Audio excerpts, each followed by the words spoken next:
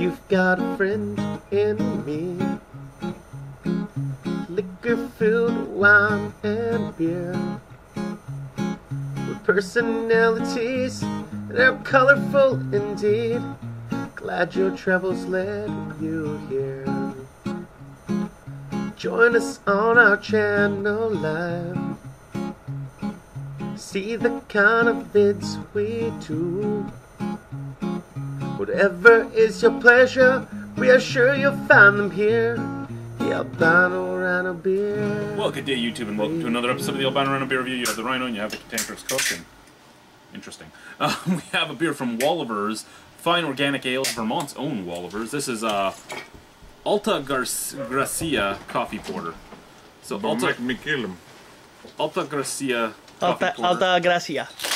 Oh, he's dead.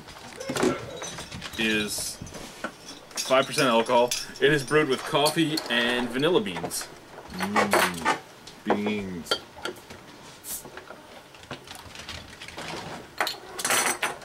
May I see your cup, fine sir?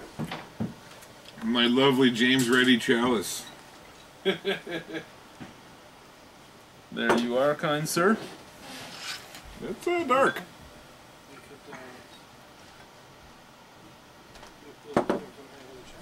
Wow, that is dark. Um, It's like it's like you. It's It looks very close to that stout you had before. Doesn't smell very good though. no, it doesn't. No. Nice head. No, that's uh, that's that reminds me of Peche Mortel. This is really, really high-end coffee, and I'm not a big coffee guy. Me neither. I hate coffee. Why am I not drinking this then? No, I'll drink it just to spite you. So I'll give you uh, Yeah, it's, it's got a weird kind of chemically stink. Well, I'll give you a call at five though. not from the morning. Vermont Coffee Company. Let's try it. Sleep until six. I don't know. it could happen. never know. I don't give a fuck. Every day. It's actually not bad. No. It's very light. More chocolate than coffee. Yeah.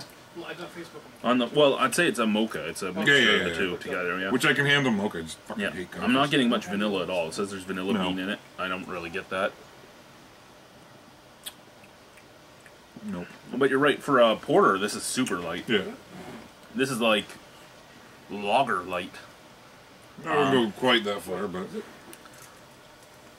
Holy shit, it is. Yeah. Lots and lots of coffee and lots and lots of chocolate mixed together. Uh, nothing bitter though. no, it's, that, that's why I like it. It's, there's not that much yeah, the bitter. smell scared me off. The smell scared me off. It was going to be like the Peche Mortel, just kick you in the face. Yeah.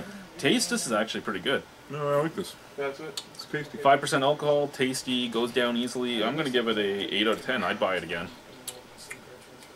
Um, seven seven five. Not quite an eight, but Alrighty, so Decent, seven pretty seven five and an eight for uh, Wolaver's Alta Alta Gracia. Gracia. Alta coffee porter. Grazia coffee porter.